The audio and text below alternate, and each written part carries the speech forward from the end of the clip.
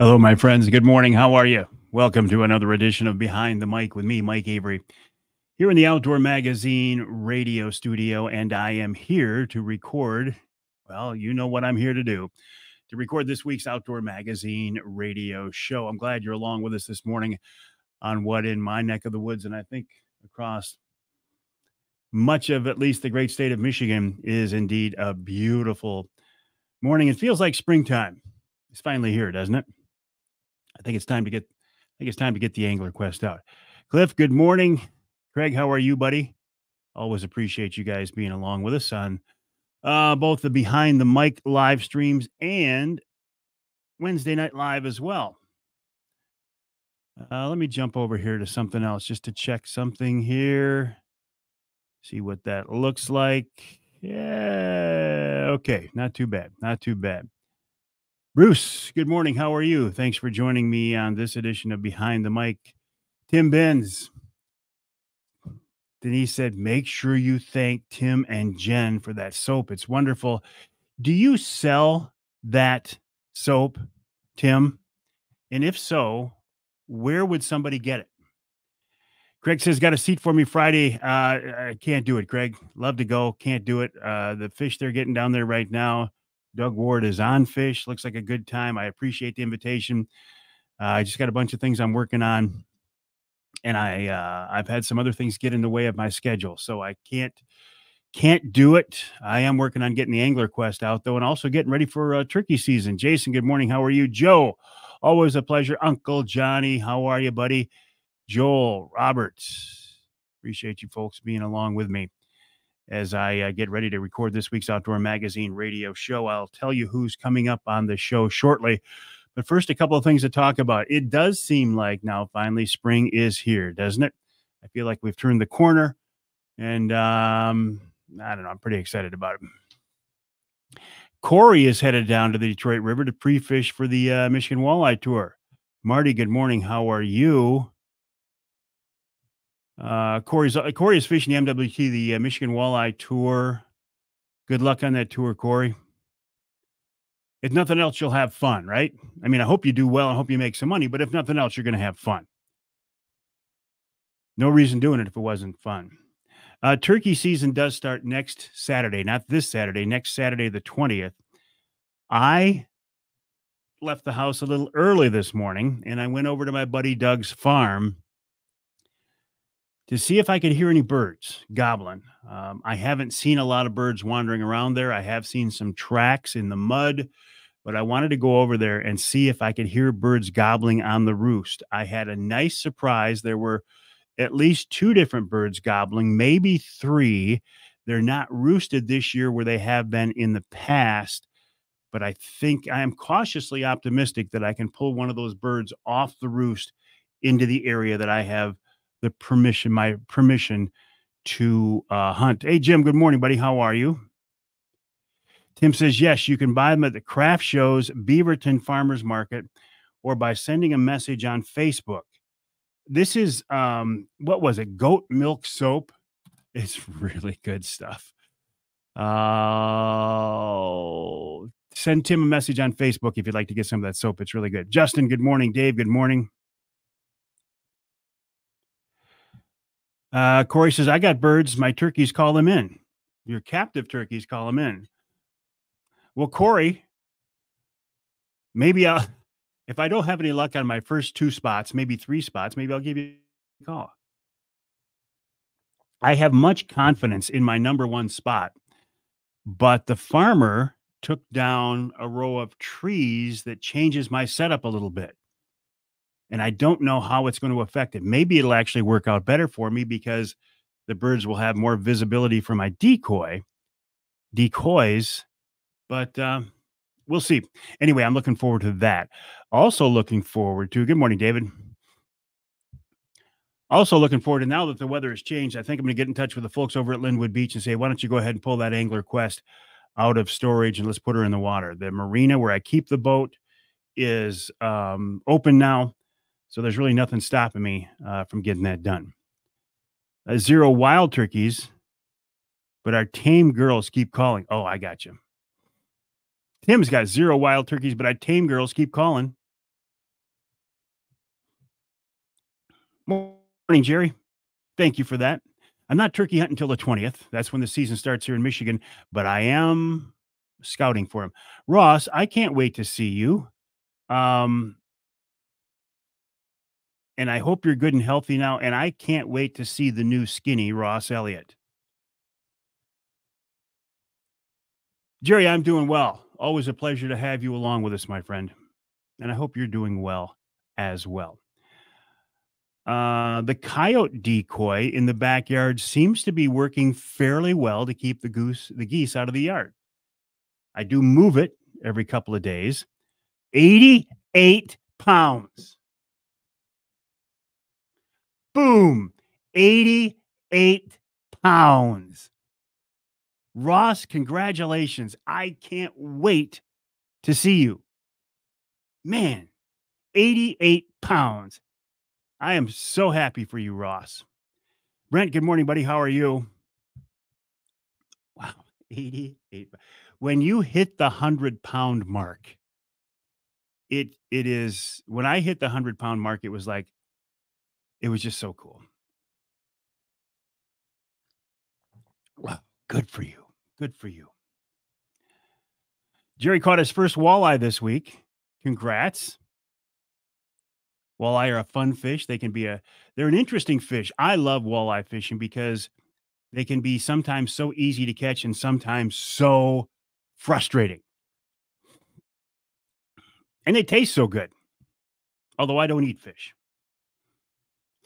Uh, my wife Denise says, Will you quit giving away those fish and throwing those fish back and bring some home to eat? So I do need to do that. Anyway, the um, uh, the coyote decoy is um okay. Co-worker's daughter was in. She asked, Who is that guy? My co-worker started laughing. She says, That's Ross. Doesn't that feel good, Ross? Doesn't that feel good? My goal is not to have to put the goose fence up. The goose fence is very, very effective. It's a three foot tall green snow fence that the geese can fly over, but they won't. But it's a pain. John says, Did you see about the wolf harvested in lower Michigan? Yes, I did. And yes, I have. I've been talking ex- extensively about it. Going to talk about it a little bit more this morning. Good morning, Matt from Houghton Lake. How are you? Okay, this leads me into it. Good morning, Ed. I uh, I talked about this last week on the show. In fact, I had Brian Roell from the DNR also talking about it. A wolf was harvested by a hunter in southern Michigan in Calhoun County back in January. It was taken by a legal coyote hunter. Now, I say legal because the coyote hunter was hunting legally. It is unclear. Good morning, Mike. How are things down on Lake Erie? Man, James showed me the fish you're into. Holy cow. Holy cow. Hunter Joe says we got some rain coming. Yeah, tomorrow. How is Sherry? How are things in Poseyville? Okay, this wolf. Uh 36 genes. Wow. Wow.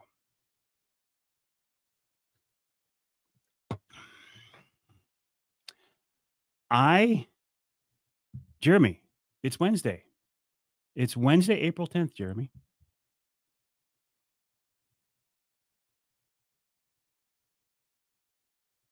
Also known as Hump Day. That's all you're getting today. Hump Day. I um, have said right from the start that I am very suspect about a wolf getting all the way from the Upper Peninsula down to Calhoun County. People, and I'm getting a lot of heat from it. I mean, I, I, I posted videos on Facebook. I posted a video on YouTube. I posted video on Instagram. I posted a video on TikTok. And um, about 80% of the people who watch the video think I'm an absolute idiot. One guy said, Avery, you need to spend more time in the outdoors and less behind that microphone. I stand by that, that I am not convinced that that wolf that showed up in Calhoun County made his way down from the UP. Um,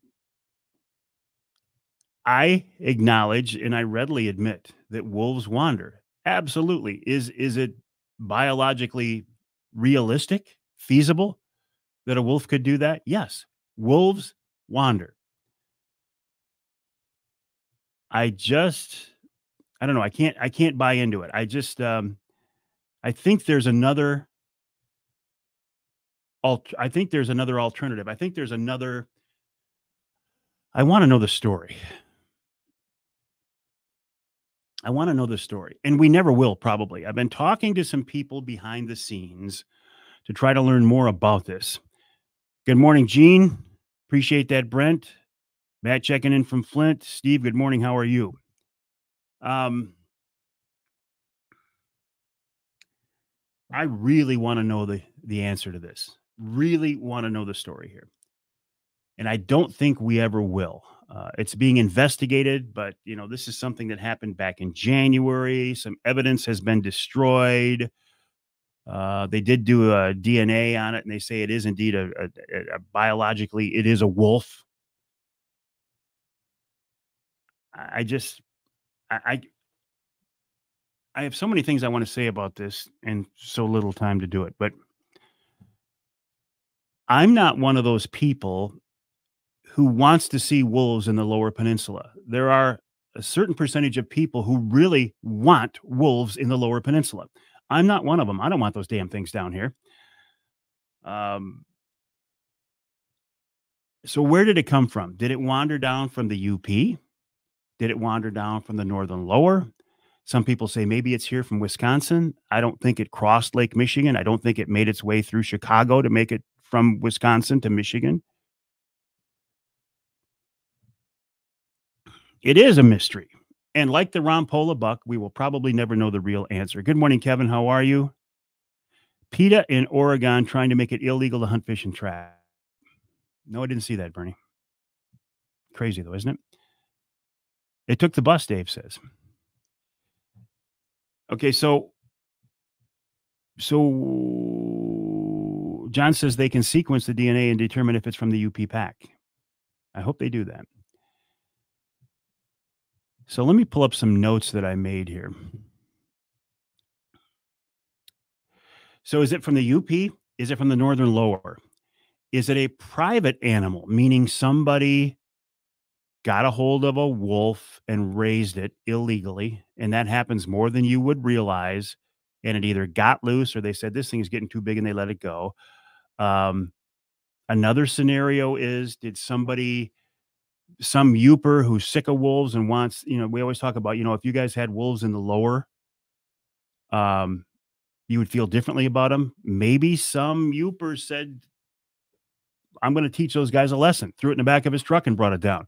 Another theory I'm hearing on the uh, on the uh, internet, the web, is that the DNR brought it down. Uh,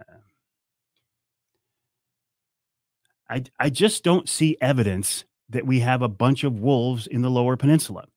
I hear about it all the time. People send me trail cam pictures and say, "Look at the wolf on my trail cam picture," and it's not; it's a coyote.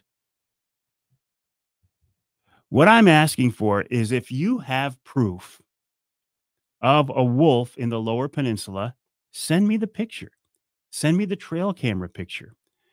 If you don't want me to share it, I won't share it. But I need to be convinced that there is a population of wolves in the lower peninsula. And I'm not convinced right now. Send me the picture. If all these wolves are out there, coyote hunters would have seen them before now, and they'd be all over trail camp. Trappers would have had them. And we're not seeing that. Art Lewis, come in here, buddy. Please. Yeah. This is Art Lewis, ready, ladies and gentlemen. You know Art Lewis. He is a broadcasting icon. He's a member of the Michigan Broadcasting Hall of Fame.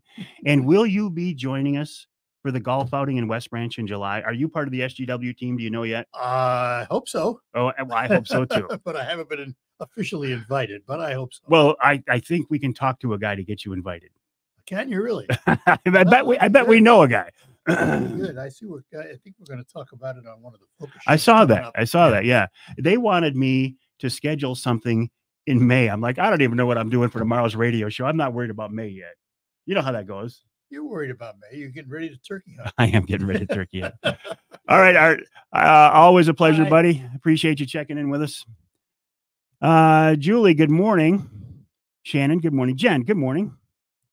I was asking about the soap. If people are interested, they can reach out to Stolen Willow Farm on Facebook or Instagram, and I can help them out. Stolen Willow Farm on Facebook or Instagram if you want some of that really, really nice um, goat milk soap. Josh Mapes, let me ask you this. Do you think the wolf and what do you think about the wolf in, in Calhoun County? How did it get there, Josh Mapes? You're a coyote hunter. Hunter Joe says it may make it easier to get them off the endangered species list, uh, list if they are more widespread. John says, You don't think Michiganders don't practice shoot, shovel, and shut up? Of course they do. Morels, I haven't seen any yet. Tony says, I saw you on Miller Road yesterday. The truck looks awesome. Thank you. Thank you, Tony. Yeah, we were, I had to take my uh, father in law downstate for um, a doctor's visit. Craig says, Can I still sponsor a hole to golf outing? Of course you can. We're just putting together, I say we, Steve Wyndham of MUCC is putting together that sponsor package right now uh, Craig. I will add you to the list of people who are interested in sponsorship. But yeah, that'd be great. Of course you can. Well, there's Steve right there. July 29th, going to be the best golf outing of the summer. Steve, um, I know you're working on that sponsor package. When will that be released? And do you know Kevin Hannis, Steve Wyndham, if folks can call the West Branch Country Club now and sign up for the outing?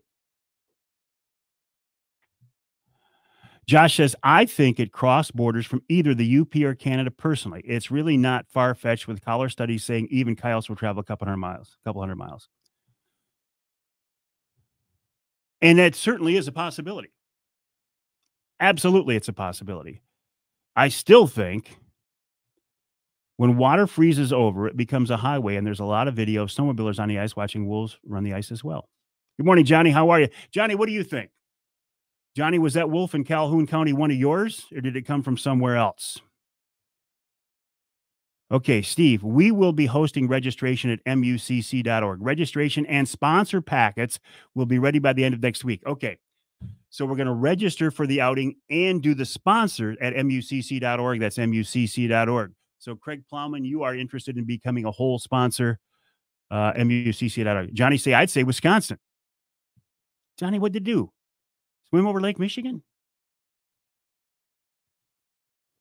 George says, I'd like to see the entire DNA results.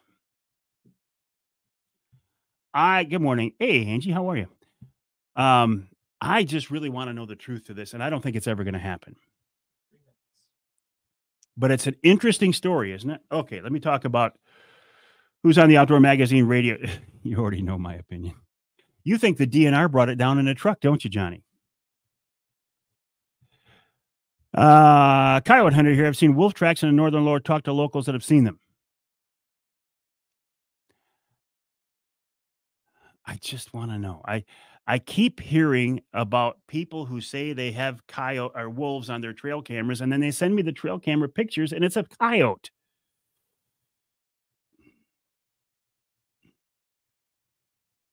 I don't think we'll ever know. I really don't. I don't think we'll ever know. Tim says, I'm not a conspiracy guy. Yes, you are, Tim. But coyotes, a coyote hunt ban and a lower peninsula wolves at the same time. Uh, Steve said, Do trappers accidentally catch many wolves in the UP? I think they do, but we don't see them down here. The dog trappers aren't getting them down here. The dog hunters aren't running them. Josh says, All I know is identify what you're shooting. But Josh, you hunt downstate if a great big coyote came out to one of your calls in Calhoun County, would you have hesitated? And I'm I'm being absolutely uh, I'm serious here because you're a good hunter, a legitimate hunter. Do you would you have shot it? Would you even remotely said, "Oh, I think that's a wolf"? Craig says, "How come it's always wolf picks, but nobody ever reports hearing them howl?" Steve says, could it have anything to do with the wolf that got out of Binder Park Zoo a few years ago? Could it have bred with a yote before it was killed? The DNA says it's 100% uh, wolf. I don't know. I'm fascinated. Let me tell you who's coming up on the show. Rich Grizan of Killer Food Slot Plots. Number one, Will Fitzpatrick from Michigan Moon, then Tom Campbell of Woods and Water News. Hour number three, Dave Mull, the Yak Master, Katie Griesiak from the DNR, and Glenn Duncan answers the Ask Avery question about if you're trying to save money on a turkey load, could you actually put steel shot through your turkey choke? And in hour number three, we're talking turkey with Tom Lounsbury plus wild game chef extraordinaire Dixie Dave Miner. Tough question. We really can't pass judgment, really. They aren't supposed to be here. So why would all of a sudden be? Exactly. It is a tough question. Uh, 30 seconds. Okay. Uh, in a few seconds here, I'm going to have to switch my focus from this microphone, my social media microphone, to this one, my uh, official broadcast microphone. Uh, can you say what evidence was tampered with? No, I don't know of any evidence that was tampered with at all. It's always going to be the mystery wolf. You're right. Good morning, Patrick. Five, four, three, two, one. Blast off. Okay. So the music has started. You can hear it right there. That's the music, which means I got to go to work. Josh says, personally, I think the DNR should have kept it quiet. It's created a poop storm, hasn't it?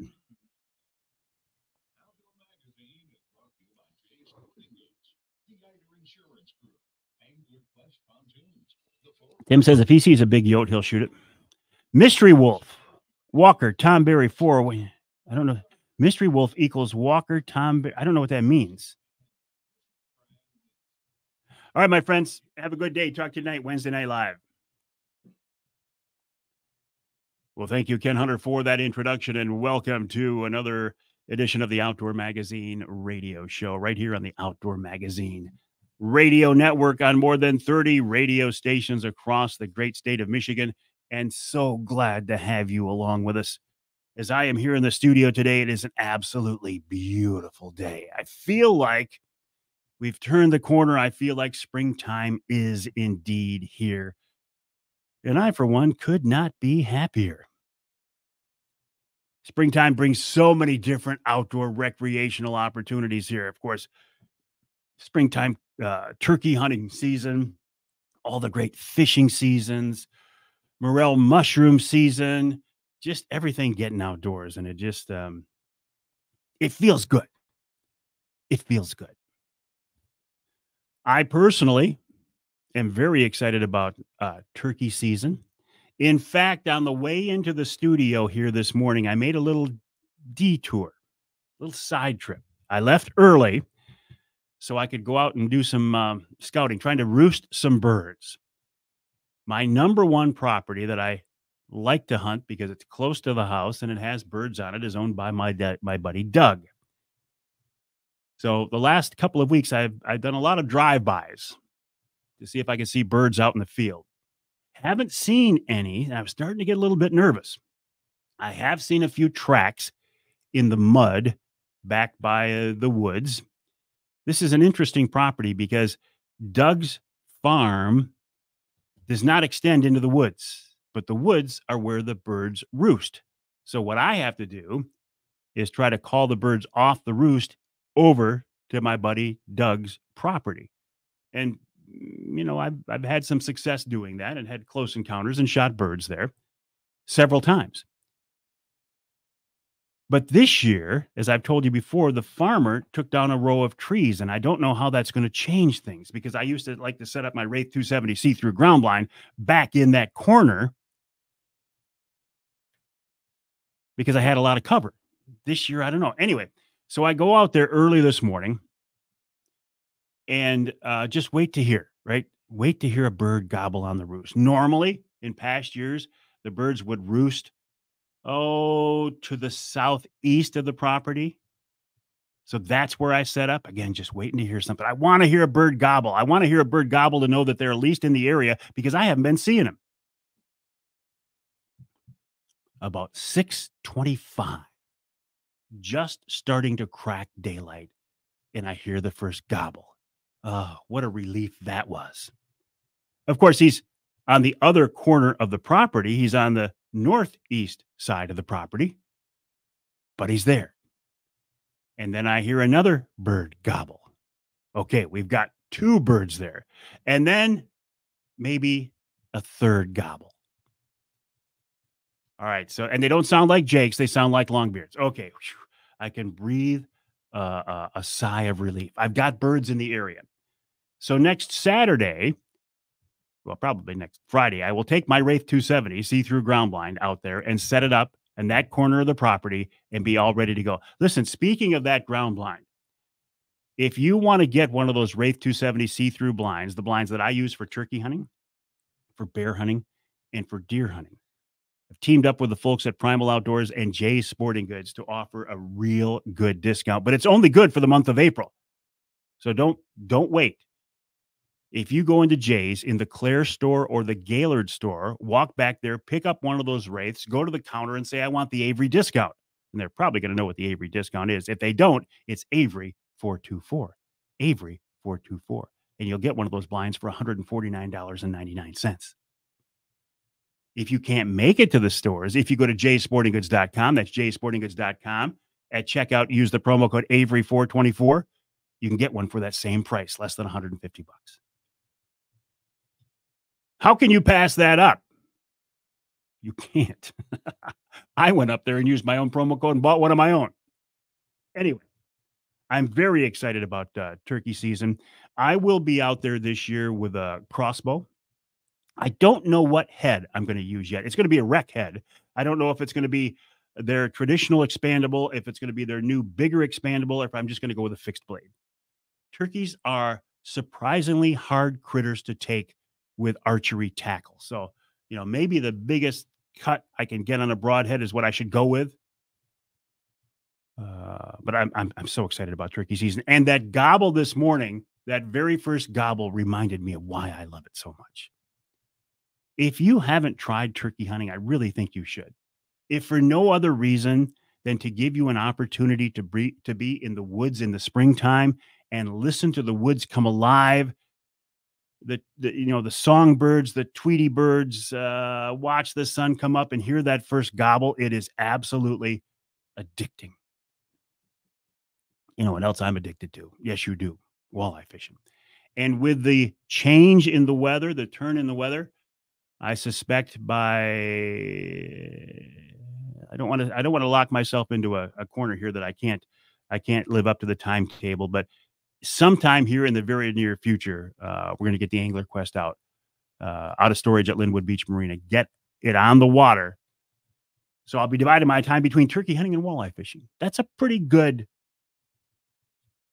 pretty good option to have, isn't it? Um, the coyote decoy in the backyard is still surprisingly working fairly well. I move it around every couple of days. The coyote decoy is out there to try to keep geese out of the yard. I don't want to put up the goose fence this year just because it's a lot of work. If I can put a decoy in the backyard and keep the geese out of the yard, it's just a lot easier. I suspect that eventually the effectiveness of that coyote standing there still in the backyard is probably going to wear off. But for now, it seems to be working pretty good. Speaking of coyotes, makes me think about wolves there is still the question of that wolf that was shot by that coyote hunter in Calhoun County. More questions than answers. This was shot by a hunter back in January. It was a coyote hunter. Uh, the situation is still under investigation. What do I mean by that? Well, it's illegal to shoot a wolf. And this actually, the DNA proved that it was a wolf. But will the guy be charged? I mean, who could have reasonably expected a southern Michigan coyote hunter to hold off shooting a big coyote because it was a wolf? Is that a reasonable expectation? I don't know. And the decision hasn't been made yet there as we are sitting in the studio right now as to what to do. Now, they may come out tomorrow and say, no, the guy is scot free or they're going to charge him. But as we're sitting in the studio right now, we don't know. You know what else we don't know? Where it came from. I said right from the start that I was very suspect of this. Something just doesn't seem right to me. Is it possible that a wolf would wander down from the UP? Absolutely. Is it possible that a wolf would wander down from the lower, uh, northern lower peninsula? Possibly. I've heard people say, well, it came over from Wisconsin. I don't think it came over from Wisconsin. What did it do? Swim Lake, Michigan? Did it cross through Chicago? Or is there another option? Did it get there because somebody had a pet wolf? This is not unheard of. It's happened before and it got away. You're not supposed to, it's illegal. It seems kind of dumb to raise a wolf, but it escaped or it just got to be too much and they just went out in the woods and they let it go. I've also heard theories that the DNR trapped one from the UP and brought it down to release it, or some Yooper who was trying to make a point trapped a wolf up there and brought it down. I'd love to find out definitively where this came from. Unfortunately, I, I don't think we ever will.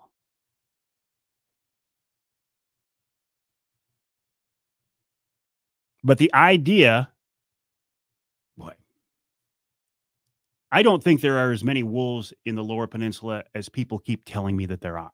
I get uh, people all the time say, I've got wolves on my trail camera. Cool. Send me the picture. And I see the picture, and it's not a wolf, it's a big coyote. But here's my request I would love to, if you have proof of wolves in the lower peninsula, either, tra- uh, well, it's going to have to be a trail camera picture, right? Send it to me. If you don't want me to share it, I won't. But if there are that many wolves in the lower peninsula, as people are claiming, let's let's try to get a handle on it. Send me a picture of your trail camera picture with a wolf on it to Mike at MikeAveryOutdoors.com. That's Mike at MikeAveryOutdoors.com. Send it to me. I will keep it confidential, but please tell me what county it's in, when the picture is from, and let's let's let's see. I just don't think they're out there in the numbers that a lot of people claim. I think it's going to be one of those mysteries. It's going to be it's going to be right up there with the Ron Pola. Coming up uh, this week's Outdoor Magazine show after the break, Rich Grizan of Killer Food Plots, then Will Fitzpatrick from Michigan Moon, and Tom Campbell of Woods and Water News. In our second hour, the Yak Master, Dave Mull, Katie Griesiak talking about invasive species. Then Glenn Duncan answers this week's Ask Avery question. And in hour number three, we're talking turkey with Tom Lounsbury. All that plus Wild Game Chef Dixie Dave Miner and more coming up this week right here on Outdoor Magazine.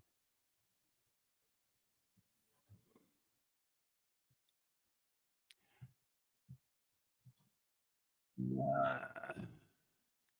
Charles says, Mike, it came across the Straits of Mackinac. Did it swim? Uh, I know they come across the ice. And I know that it's certainly biologically possible. I just have a hard time buying into it. Jerry's fishing night. Good for you. Thank you, Charles. ML, dodging tornadoes in South Louisiana. Keep your head down, buddy.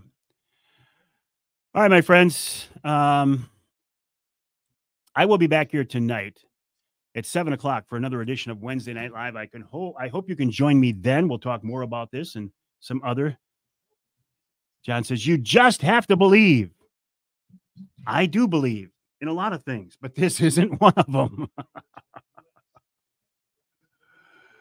uh, yeah, I, I, I hear you. Hey, Mike, how you doing? Anyway, I got to go. I could talk about this all morning, but I can't. So I will be back tonight, seven o'clock, for another edition of Wednesday Night Live, and I hope you can join me then. In the meantime, have a great day.